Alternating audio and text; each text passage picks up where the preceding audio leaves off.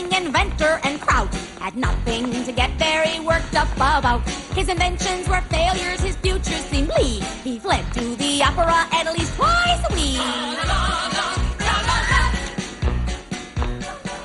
One night at the opera, he saw an Aida, whose bust was so big it would often impede her. Bug-eyed, he watched her fall into the pit, in by the weight of those terrible pits. Oh my God! There she blows! Aerodynamically, this girl was a mess. Otto eyeballed the diva lying comatose amongst the reeds, and he suddenly felt the fire of inspiration flood his soul. He ran back to his workshop where he futzed and futzed and futzed.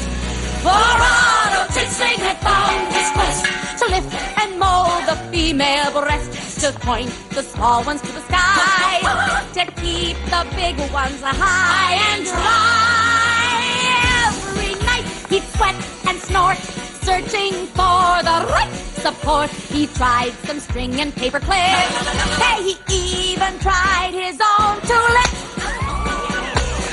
Well, he fished and he slaved and he slaved and he fished until finally one night, in the wee hours of morning, Otto arose from his workbench triumphant. Yes, he had invented the world's first over-the-shoulder boulder holder. Hooray! Exhausted but ecstatic, Otto ran out to the diva bearing the prototype in his hot little hand. But little did Otto know, at the moment of his greatest triumph, uh, lurking under the diva's bed, was none other than the very worst of the French patent thieves, Philip de Brassiere. And Phil was watching the scene with a great deal of interest.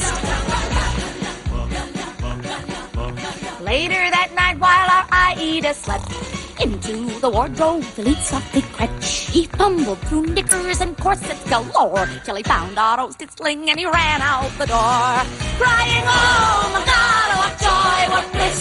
I'm gonna make me a million from this. Every woman in the world will wanna buy one. I will have all the goods manufactured in Taiwan." Whew. The result clear. Do you buy a Titsling or do you buy a Brassiere?